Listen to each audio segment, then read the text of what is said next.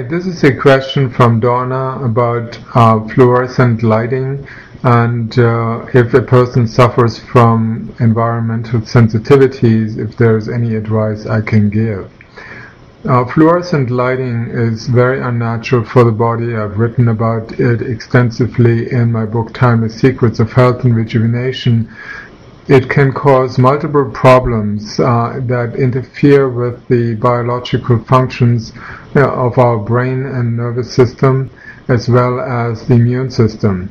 Uh, there is no natural uh, fluorescent lighting in nature and it can be very confusing for the body. There are certain rays that are missing uh, that the sunlight provides and a, person who is constantly sitting in an office um, most of the day under the influence of fluorescent light uh, then that can uh, certainly confuse the body. It has been shown that fluorescent lighting suppresses the immune system and uh, can have cardiovascular, uh, you know, uh, detrimental effects and uh, can cause damage to the brain and nervous system uh, because light, natural light, is a nutrient. Uh, and so once we develop nutrient deficiency, light deficiency, then uh, that can uh, basically lead to deficiencies in the body and therefore damage uh, of the body. Um, and so I definitely recommend to avoid fluorescent light uh, if at all possible. Um, and if there is no chance of uh, being able to avoid that, uh, to at least you know find ways to get out of out in the sun uh, during breaks, uh, during the working hour, uh, or, or uh, on weekends to replenish the body's nutrient uptake in terms of light. there are seven parts to the light as we know it, even though there are other fragments to light but there are seven colors. Uh, so when white light um, hits the retina of the eye, uh, it get bro gets broken down into seven colors, uh, including the red, green, blue, yellow, um, so you know violet. Uh, so there there are these colors that need to be absorbed. They actually pass into the uh, pineal gland where they're being processed and chemically encoded, and then they, they are transferred um, to all the cells in the body. And some cells need more red light, some need more blue light, uh, blue light, some more green light, in order to produce the various uh, secretions like bile, the green, uh, the green yellowish bile, uh, the the red blood, um, and the other uh, parts of the uh, body. Um, so it's essential to live of light. we need to have proper light exposure. if you are you know, exposing plants to fluorescent light on a constant basis and depriving them of natural sunlight, you will not you know, achieve a, a, proper healthy growth. It will uh, you become the immune system of the plant will not be able to develop proper properly, and it becomes susceptible to insect infestation or other um, you know, problems. It will not grow as healthily as other plants uh, in the, you're exposed to direct sunlight can.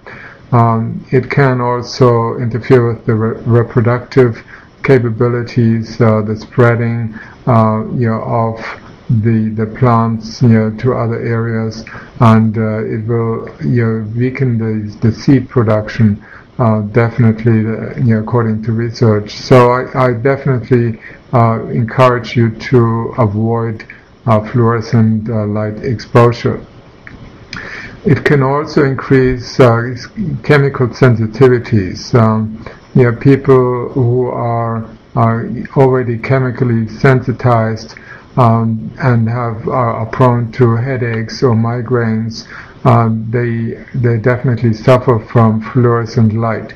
Uh, that shows that there's a, a heightened sensitivity uh, you when you expose yourself to fluorescent light on a day-to-day basis and if you already have accumulated chemicals uh, or, or metals, heavy metals in the body.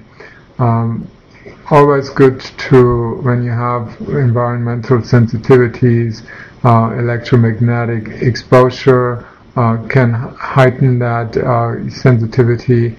So if you are living in a house or in an office um, where you, you have a lot of electromagnetic frequency yeah, exposure, I recommend to get an ionized stone from my website uh, enerchi.com, E-N-E-R-C-H-I.com,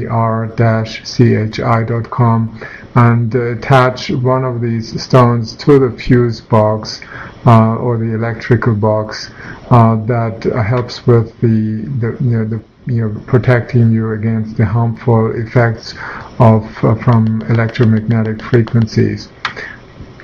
The other uh, thing is obviously cleaning out the liver um, to make sure that the body can detoxify itself properly again and doesn't uh, you know doesn't get forced to accumulate toxins instead of uh, removing them.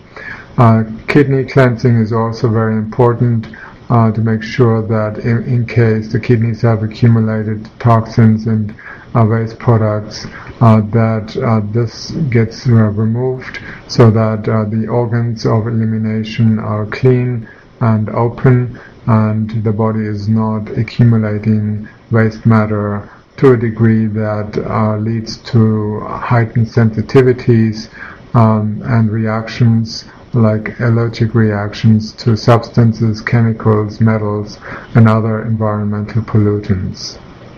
Thank you.